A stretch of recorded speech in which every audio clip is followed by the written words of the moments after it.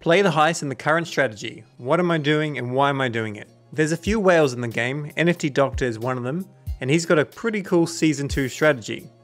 Now whales are different to us mere mortals, so this is not going to apply to everybody. Essentially in the first season, and I did cover this, he spent 1.1 thousand SOL and he bought 55 chimps, upgraded them to the max the first day. He was able to stack Nana and grow it to 150 chimps and gorillas over that time by using recruitment. Then he sold some and he left with 4,000 SOL profit. And his season 2 approach is quite similar. So he participated in the first recruitment, won 39 orangutans, swiftly sold them, bought lots of COCO and maxed out all of his chimps. And I don't know how many orangutans he has now.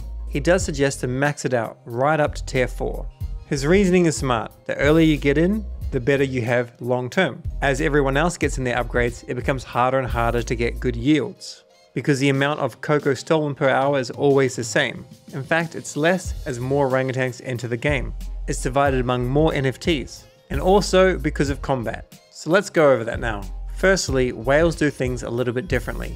They can afford to have a little bit more risk. Later Nerd plays in places where you can be wrecked, where there is a chance that you can have your NFT burnt. I don't play here, and a lot of smaller players won't.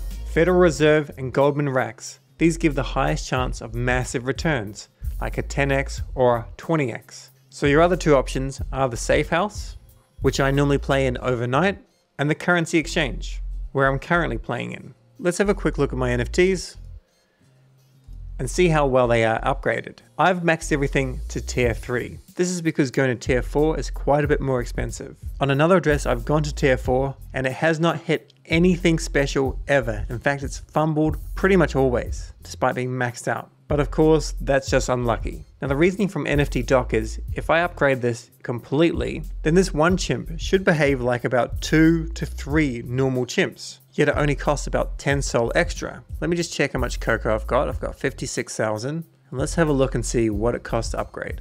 Okay, so I can't even afford to upgrade it. This here is about 50,000 plus another 80,000, 40 and 40. So it's about 130,000 just to add this last tier. If we go to Jupiter, we know that it costs around 340,000 COCO to upgrade from zero to hero.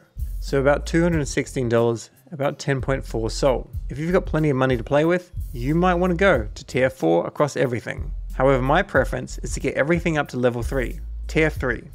Tier 3 across the board. That's when we start to get little extra boosts.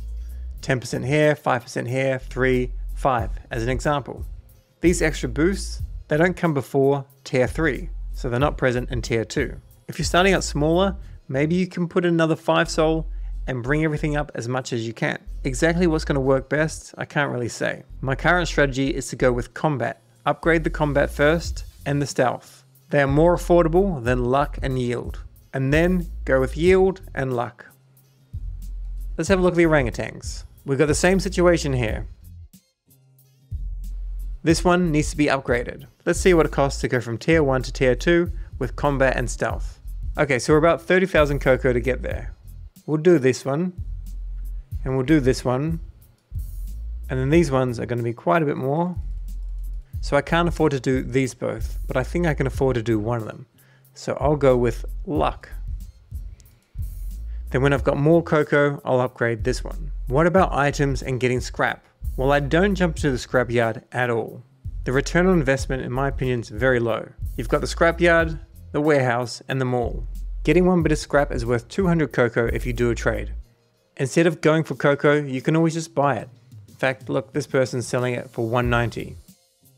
However, as a smaller player, I don't even like to buy things unless they're quite low. As an example, you can see I've got lower tier items. This is common and this is rare, but most of the time I'm just using common items. They don't offer the same amount of kind of oomph, but they're far more affordable. And quite often, especially with my new strategy, they will be confiscated. So I want to go for cheaper items. One thing that's a little bit harder is getting good items for your orangutans for cheap. So if we go to the black market, we of course can make these, but most of the time we're going to get a common item. Up here, these colors here relate to the rarity. This is common, this is uncommon, this is rare, this is epic, and this is legendary. If I ever do craft something and it becomes this one or this one, I will just sell it and I'll buy cheaper things in these two categories. At the moment, I want to get some kit bags. This would cost 3000 COCO plus 70 scrap. 70 scrap at 200 is 14,000 COCO. It's too expensive. So instead I just come to chat. Want to buy two times kit bags common. And hopefully someone will see this and sell me something not too bad. While we're waiting for that to come through, let's go and have a look at currency exchange. And let's work out my next plan. I've had some people ask me, why wouldn't I just leave in my chimp or orangutan for the whole time, for five days or seven days? Well, it's simply because the event table gets worse over time. So let's compare these two as an example. Hover over this one, which has been on a heist for one day and eight hours. We can see there's a 1.7% chance it will be arrested. Confiscation, so losing the items, is 6%. Ambushed or captured is 8.2. It's normally 10%, but because of my items, it's gone down. You can see the 10x chance is 2.6% and 5x is 3.9. Let's have a look at this one over here instead, and let's compare it side by side. 2.6, 3.9, same there, but now have a look at the bad things. This has almost a 4% chance of the items being confiscated and a 1% chance of being arrested, compared to almost 6.3% and a 1.7% chance. Still 8.2, and this NFT is also 8.2. It's me Mario's happy to sell a kit bag for 10k. I think that's a little bit pricey to be perfectly honest, so I'll wait for a better offer. What people will sometimes do though is just send you an offer just in trades, but I've got nothing here. Now another reason why it's good to upgrade combat is because you may see yourself ambushing or capturing more often. Unfortunately, I'm not getting very much action at all, nothing in the last two days. And thus far, I've only been able to get COCO. I haven't got any items at all. Getting items is a lot rarer. By the way, remember to claim your ticket daily. Done. Let's go back to the currency exchange. Let's have a look at the orangutans. So we've got different statistics here. One day and eight hours, pretty much the same statistics as my chimp. So we have the same rate of confiscation, versus 19 hours. And this one here doesn't have as high a stealth. So the confiscation rate is 4.1% versus 3.9. Let's quickly claim them and let's see how we did. Okay, so this is about as lucky as I've ever been. It's not a good representation of the game. I've got a 10x here, great. I've got a double here, and this one hit expected twice. So that's that's a winner. Let's go to the chimps. Let's have a look at them all side by side and remember that this one here with the headscarf, that one has been there for one day and eight hours. Okay, so we're arrested, fumbled, and we got expected. This is more often what's going to happen, unfortunately. So that was not very good. That's why I normally do stop a heist after about four hours. However, I'm going to bail everybody out and I'm going to try something again. Now because this one was arrested, it doesn't have a briefcase and it doesn't have a weapon. Let's see if we can get anything cheap. So I want to buy a briefcase and an AK-47 common, cheap. See if we have any trade requests. Nothing. I'll see if I can get from OTC Sheki a good trade. You should be able to get a briefcase for about 1500. So let's see if they're going to accept anything like this for two different briefcases. Just remember to ping them a message. I've got Helix here offering something. I'll go with 1600, see if they will accept and check the other trade status. Still pending. Want to buy AK-47. See if we get any luck this time. So I'm buying this gun for 2k. See how we go. It's 11. Can't really remember if it's a good price, but we'll find out. And we'll check our other trades here. We're good to go. Accepted. Good. And we'll have a look and see if OTC Sheki. No we'll unready and we'll just close that. Come back to this trade and just confirm. That's all we're going to get for now, but that's fine. Now we'll go back to our hub and sometimes these will not show, in which case we just have to reload the website, click on our NFT, AK-47 and the briefcase. Now we're good to go. Okay, so to the currency exchange. Okay, so what our strategy is going to be is leaving everything here for about five days and then we'll film it and we'll see how we go.